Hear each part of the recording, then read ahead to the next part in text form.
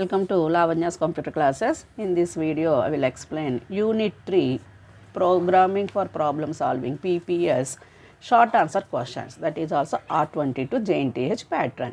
These all questions are for all CSE, ECE, civil, mechanical for all the students same questions PPS okay. So that is also unit 3. In the unit 3 there are two chapters are there. One is the preprocessors and second one is the file handlings in C language. So the short answer questions are first one is first chapter from first chapter that is preprocessors. First question is define preprocessor. What is preprocessor? Just definition of pro- preprocessor. And second question is list out the preprocessor command directives. That means uh, uh, give some examples for preprocessor directives or uh, which symbols are used for preprocessor directives. Third question is explain about define preprocessor. Second question only, otherwise they are asking individually. Or sometimes they are asking explain about hash define. Hash is the symbol for preprocessor directive. Hash define preprocessor or they are asking directly explain about the define, define preprocessor. Any preprocessor they are asking.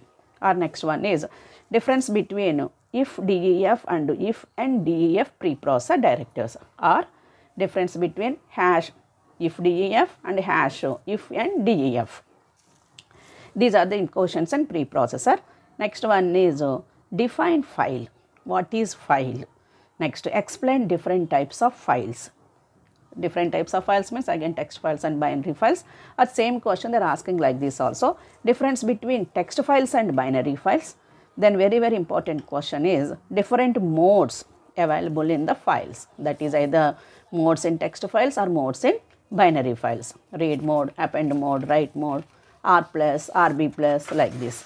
Next one is how to read and write data into the file. That means what is the open command, uh, close command, read command, write command with syntaxes. Next, how to append the data in the existing file. Append mode and then syntax for append and some simple example program. Explain the operations of random access files. Same question down also same question. Explain fseek function, ftell function and rewind function. So those are also examples for the random access files. So these are the very very important questions in uh, unit 3. Same questions are coming for uh, essay type questions also. There is no difference between um, short answers and uh, long answers. Same question explain about preprocessor. If the same question is coming for SI type question, then write, think about the marks and elaborate the answer. Okay. Thank you for watching my video. Read all these questions, share it to your friends. I will provide the notes for all these important questions also. Thank you.